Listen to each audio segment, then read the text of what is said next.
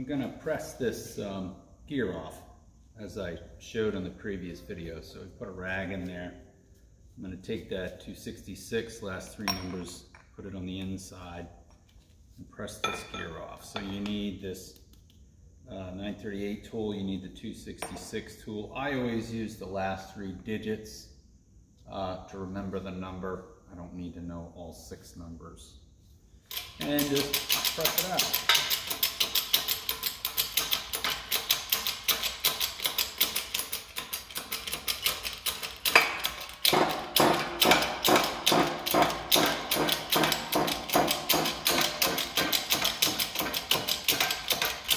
A little tighter than that.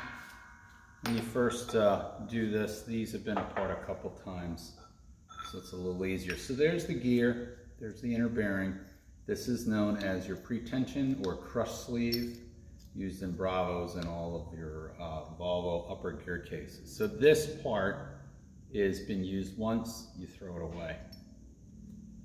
So we're gonna get rid of that. I'm gonna put the gear off to the side so I don't damage that. Now what I want to do is take this off. I'm done with that tool. I'm going to then press the seal. I've already taken the snap ring out. So now I flip it over. You can see the bearing is inside and I need to press the bearing out with the seal. That requires you to use the 884-263 tool. Tapered side goes up. Center that in the center of the bearing. Now obviously you probably need a spacer at this point.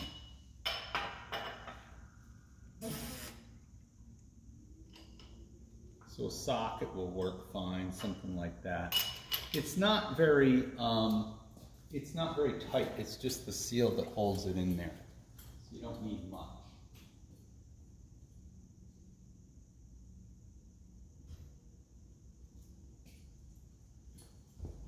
One thing you never want to do is stack mandrels, which is don't stack sockets or anything like that.